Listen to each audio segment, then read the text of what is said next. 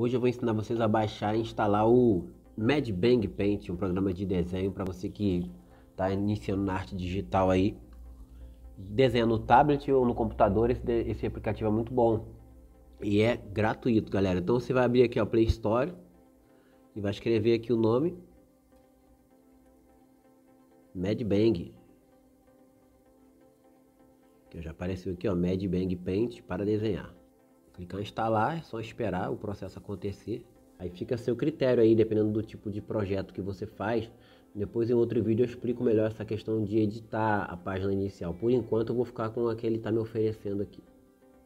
Inclusive você pode fazer um time-lapse aqui, ó, se você ativar esse íconezinho aqui. Ele salva o seu desenho, vai gravando a tela e acelera o processo. Para galera que gosta de postar desenho no TikTok, fazendo rápido no Speed Art, é uma ótima opção. Vamos lá, vamos criar aqui.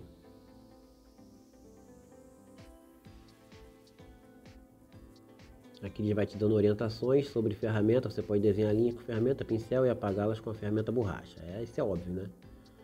Próximo, pode utilizar ferramentas de linha de tinta, tá, tá, tá, balde de tinta. Isso aqui é, tem todos os programas de desenho, né? É bem básico. Usar o tool rápido para aprender mais sobre as ferramentas. Nível de operação, beleza. Aí aí tá a nossa página inicial, tá vendo? Você pode usar para fazer o desenho deitado ou você pode usar o desenho em pé, fica a seu critério. Agora vamos lá. Aqui em cima nós temos aqui a canetinha, né? Ó. Tranquilo. Aqui nós temos a borrachinha do lado, tá vendo? Ela apaga o seu traço. E outra coisa, se você traçar e se arrepender, não quiser usar a borracha, você pode vir nesse ícone aqui embaixo e apertar o botão voltar, olha. Ele desfaz, é como se fosse o Ctrl Z do computador. Bem prático. Aqui no canto esquerdo, nós temos aqui as ferramentas que a gente pode trabalhar, aqui a rotação, aqui é para escolher a cor que você quer usar na sua caneta, na sua, no seu pincel, né? E esse íconezinho aqui é muito interessante, que é a aba de camada. Ó, abri aqui agora a aba de camada. Para que, que serve isso aqui? Isso aqui para galera que pinta, que desenha, é muito útil. A camada inicial aqui, ó, eu faço um, um, traço, vamos começar aqui, ó. Faço um traço qualquer, uma bolinha. Finge que eu fiz aqui um rostinho. Aí eu aplico uma nova camada aqui, ó. Vamos lá. Clica no mais aqui adicionar a camada. Vou botar a camada de 8 bits aqui, ó. Ficou a camada 2, tá vendo? Na camada 1 eu baixo a opacidade aqui, ó. Fica bem clarinho, tá vendo? Na camada 2 eu vou fazer agora a line art do meu desenho. Aí o que, que a gente faz aqui, ó. Finge que eu tô... Vou dar uma ampliada aqui. Finge que aquele primeiro ali foi um esboço. O segundo aqui seria a arte final, certo? Aqui, ó. Fazer um desenho bem simples aqui, beleza, galera? Para você ter uma noção.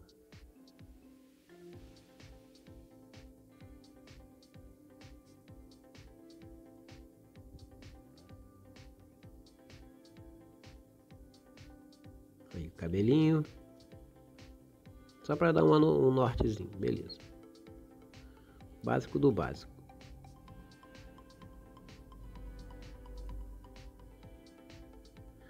Aí, essa camada 1, eu apago, clico nesse olhinho aqui, ó, e ela, e ela some, ó. Vai e volta, ó. Esboço. O esboço sumiu, certo? Tô com a camada de line art. Aí vou adicionar uma nova camada aqui, ó. Camada 8 bits.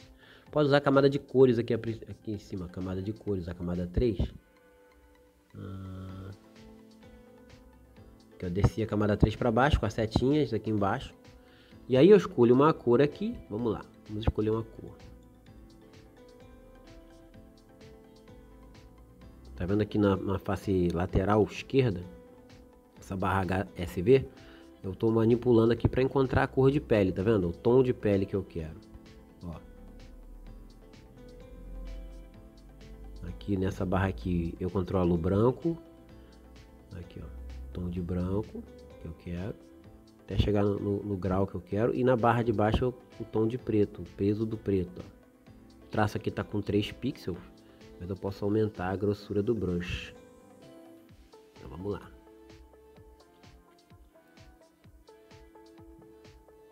Aqui, ó. Tô passando a caneta para a esquerda, eu tô aumentando a grossura do brush, ó. Ampliei o desenho na camada 3, no caso a camada de cor aqui, ó. Vou fazer a pintura. Porque aí, o que acontece? Eu pinto e não borro.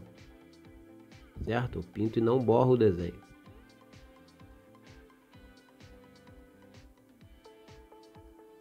Eu acho que esse programa no computador ele tem mais recursos, tá ligado? Tem mais recursos de ferramentas, de brushes, de efeitos.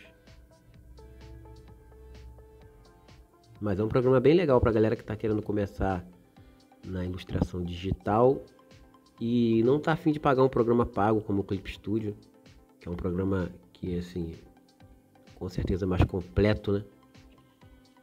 Aí galera, aí bem legalzinho, ó, tá vendo? Vou pegar o, o branco aqui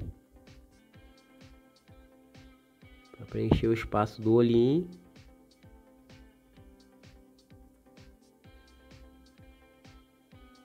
Bem basiquinho. Pega um verdinho aqui, ó. Aí você vai dosando aqui nas barras aqui, ó, o verdinho. Faço o olhinho dele. Aí pego o marronzinho. Eu faço o cabelinho dele.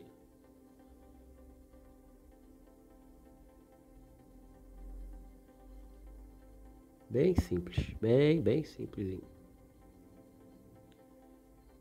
Lembrando que aqui no, esse vídeo aqui não é um vídeo para ensinar a desenhar não, tá galera? Depois, esse aqui, tanto que o desenho tá bem basiquinho mesmo. É só para mostrar para vocês as ferramentas do programa. para você pegar e pegando a manha aí. Para quem tá aprendendo a desenhar em tablets, esse, esse programa funciona em tablet e celular. Só que o celular eu acho a tela muito pequena para desenho, né? E o celular ele não tem celulares que não vem com a caneta, então você não tem um controle de pressão legal. Existem alguns celulares que se você tiver acesso, que tem caneta, que dá para usar também. Apesar da tela pequena, você consegue fazer os trabalhos legais. Então eu recomendo o MadBang para tablets e celulares e para computador também. Em outro vídeo eu mostro como é que é a instalação no computador e a diferença que ele tem em relação ao tablet. Olha aí, ó, ficou legalzinho, tá vendo? Vou pegar aqui uma cor azul, sei lá, não, ficou muito escuro.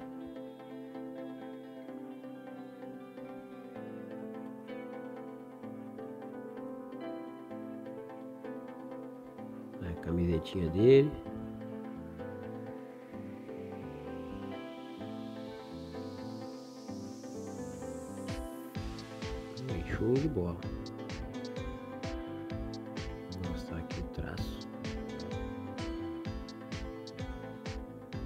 Tá mais rápido.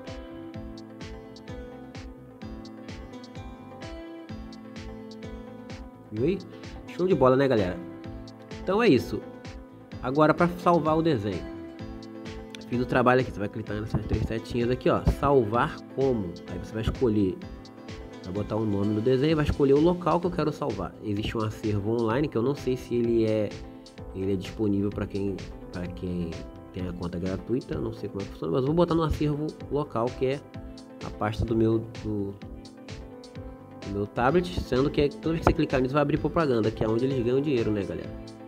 Então o desenho já foi salvo lá no acervo online, no acervo offline, que é na pasta do meu aparelho. E é isso aí. Claro que você pode fazer um desenho muito mais elaborado, com muito mais ferramentas. Depois a gente vai estar falando sobre isso. Se você gostou do vídeo, galera, ó, não esquece de se inscrever no canal aí. Não esquece de curtir, deixar algum comentário, tirando dúvida, sugestão aí, que eu vou estar tá aí respondendo as perguntas de vocês. Valeu? Valeu, galera. Até o próximo vídeo.